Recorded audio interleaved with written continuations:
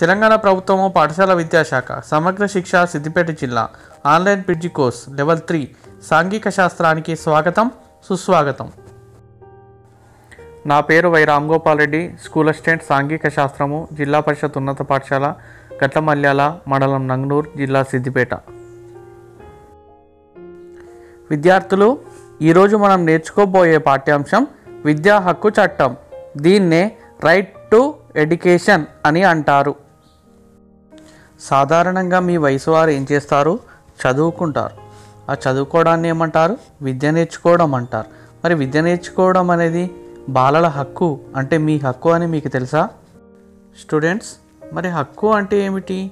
హక్కు అంటే మనకు రావాల్సింది లేదా మనం తప్పకుండా పొందవలసింది అని అర్థం. మీకు ఈ విషయం తెలుసా?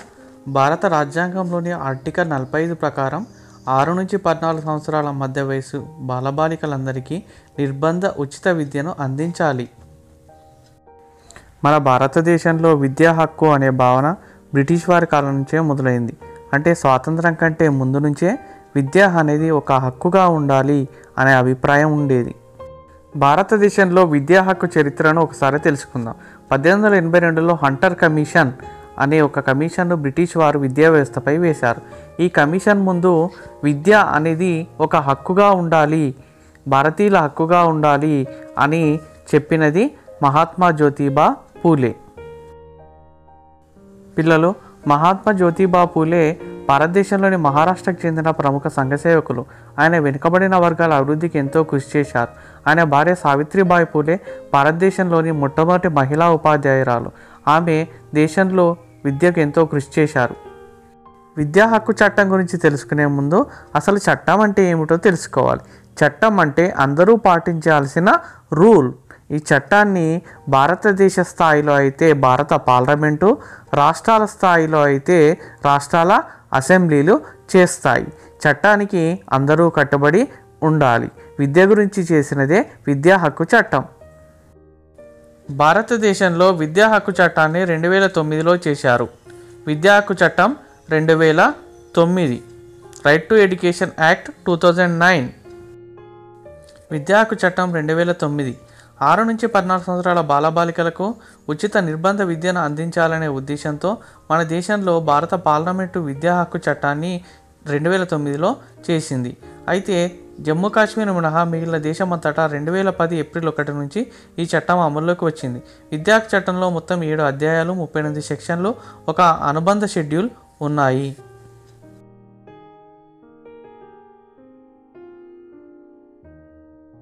విద్యాహక్కు చట్టంలోని ప్రధానమైన అంశాలను ఇప్పుడు చూద్దాం. ఈ చట్టం ప్రకారం బడి వయసు పిల్లలందరినీ బడిలో తమ వయసుకు తగిన తరగతిలో ఉండేలా చూడాలి. నివసించే ప్రాంతాలకు ఒక కిలోమీటర్ పరిధిలో ప్రాథమిక పాఠశాల మూడు కిలోమీటర్ల పరిధిలో ప్రాథమికోన్నత పాఠశాల ఉండేలా చూడాలి.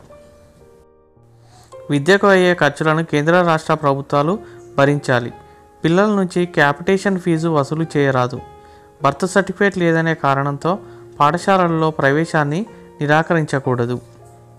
క్యాపిటేషన్ ఫీజు అంటే నిర్ణయించిన మొత్తం కంటే ఎక్కువ మొత్తంలో ఫీజు వసూలు చేయడం. విద్యాకు చట్టం ప్రకారం అలా వసూలు చేయకూడదు. ఈ చట్టం ప్రకారం ఏ విద్యార్థిని కూడా ఒక విద్యా సంవత్సరంలో ఏ తరగతిలోనూ ఒక సంవత్సరం కంటే ఎక్కువగా నిలిపి ఉంచకూడదు. ప్రభుత్వ గుర్తింపు లేకుండా పాఠశాలను నిర్వహించరాదు. ఈ చట్టం ప్రకారం పాఠశాల యాజమాన్య కమిటీ స్కూల్ మేనేజ్మెంట్ కమిటీ వీటిని విద్యా కమిటీలు అంటారు.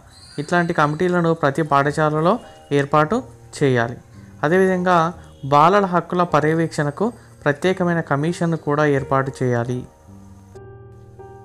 రాష్ట్ర ప్రభుత్వాలు తమకు అనుకూలంగా ఈ చట్టంలో మార్పులు చేర్పులు చేసుకోవచ్చు. ఇవి ఈ విద్యా హక్కు చట్టంలోని ప్రధానమైన అంశాలు.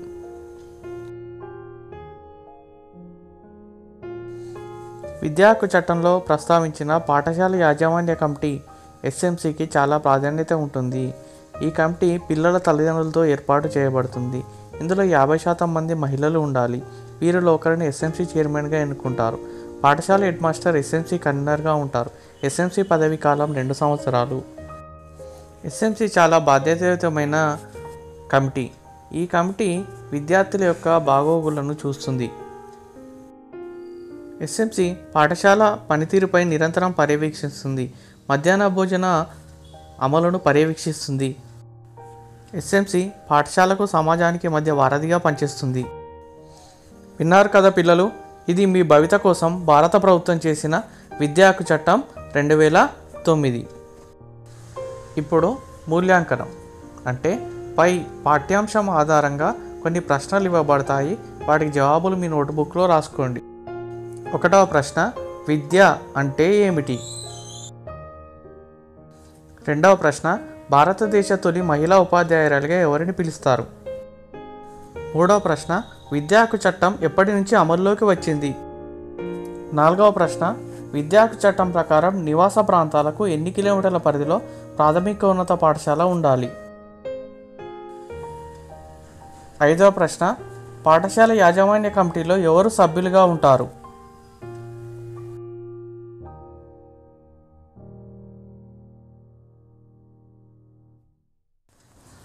Thank you. Stay home, stay safe.